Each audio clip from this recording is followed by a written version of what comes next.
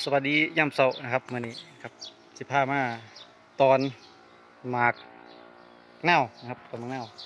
ตอนหมากเน่าวนะครับ เพราะว่าหมากเน่าวได้พันมาจากสารคามนะครับมาจากไปศึกษาดูงานได้บิ่งนะครับ แล้วก็ได้พันมานะครับแต่ขึ้นมาตอนนะครับค่อนข้างรบนิดนึงครับเพราะว่าช่วงช่วงน้าฝนนะครับเพราะว่ามีเวลาเสียหญ้าออกนะครับหญ้าหลาย อันนี้คือบางนาวนะครับตัวบางนาว ลูกค่อนข้างใหญ่นะครับมาก แต่ว่าหน่วยเก็บออกเกือบเบิดแล้วนะครับลกอยู่นะครับก็เป็นพันดีนะครับปลาก็แล้วเม็ดหน่อยนะครับ แถวบ่มีเม็ดก็เลยสิมาตอนเอาพันไว้นะครับได้ต้นเดียวนะครับได้มาจากเพิ่อนนะครับ อันนี้เพิ่อนให้ฟรีๆมานะครับ ก็เลยสิมาตอนเอาไว้นะครับปลูกไว้แล้ว วิธีการตอนก็บ่ยากนะครับ ก็มีคุยมะพร้าวนะครับ แล้วก็วิต้นมะนาวนี่แหละคุยมะพร้าวเชือกฟางนะครับ มีดอุปกรณ์ในการตอนการตอนก็คือเราต้อง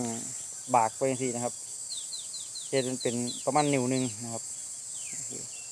นิ้วหนึ่งแล้วก็ขูดเนื้อเยื่อมันออกนะครับขูดเนื้อเยื่อออกเพราะว่าบ่ให้เนื้อเยื่อไอ้ตัวนี้มาติดกัน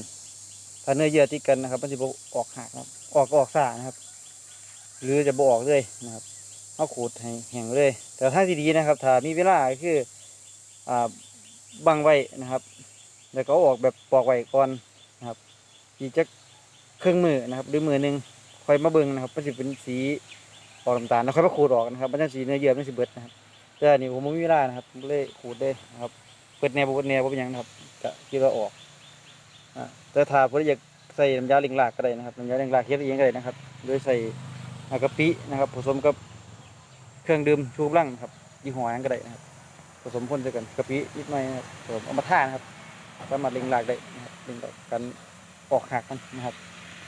ปกตินะครับถ้าตอนนี้อยู่ประมาณประมาณอาจจะ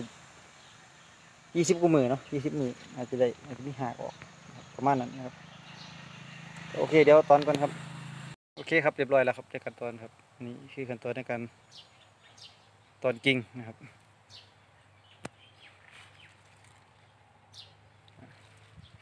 โอเคครับ